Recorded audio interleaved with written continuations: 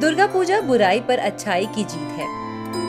माँ दुर्गा ने राक्षसों का वध कर लोगों को उनसे मुक्ति दिलाई थी। कहा जाए तो ये त्योहार पूरी दुनिया में शक्ति का सम्मान करता है।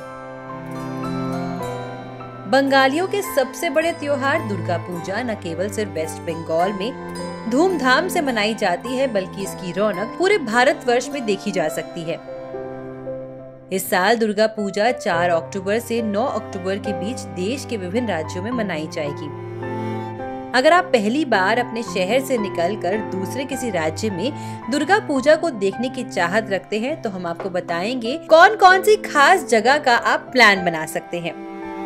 कोलकाता। इसमें कोई शक नहीं कि कोलकाता दुर्गा पूजा के लिए काफ़ी फ़ेमस है। ऐसा इसलिए क्योंकि ये धार्मिक उत्सव पश्चिम बंगाल का सबसे बड़ा त्योहार माना जाता है।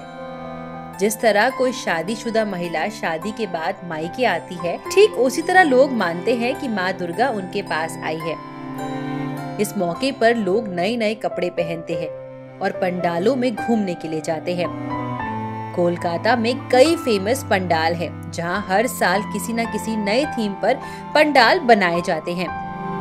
अगर आप भी दुर्गा पूजा की असली रौनक देखना चाहते हैं तो कोलकाता ज़रूर जाएँ। काशी या बनारस। कोलकाता या पश्चिम बंगाल के बाद सबसे ज़्यादा दुर्गा पूजा बनारस में होती है। इसीलिए बनारस को मिनी कोलकाता भी कहा जाता है। दुर्गा पूजा के दौरान अगर आप कुछ अलग अनुभव करना चाहते हैं तो उत्तर प्रदेश के वाराणसी की यात्रा कर सकते हैं। अहमदाबाद। पश्चिम बंगाल के अलावा भी दुर्गा पूजा विभिन्न रूपों में अलग अलग राज्यों में की जाती है। आप इस मौके पर गुजरात के बड़े शहर अहमदाबाद की यात्रा कर सकते हैं। आप यहाँ गुजराती रंग के साथ इस धार्मिक महोत्सव का आनंद ले सकते हैं। यहाँ भी दुर्गा पूजा के कई भव्य पंडाल तैयार किए जाते हैं। गुवाहाटी।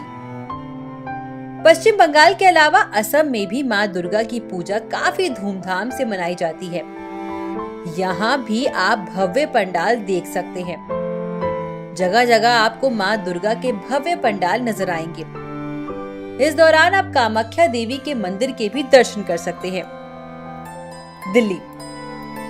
दिल्ली में भी नवरात्रि और दुर्गा पूजा की अच्छी खासी धूम होती है। यहाँ के दुर्गा पंडालों में भी दर्शन के लिए भारी भीड़ उमड़ती है। इसके अलावा दिल्ली में रामलीला भी काफ़ी धूमधाम से मनाई जाती है। दिल्ली के बंगाली एरिया सीआर पार्क में दुर्गा पूजा की धूम देखने को बनती है। कोलकाता की तरह यहाँ भी पूजा के पंडालों में काफ़ी भीड़ होती है।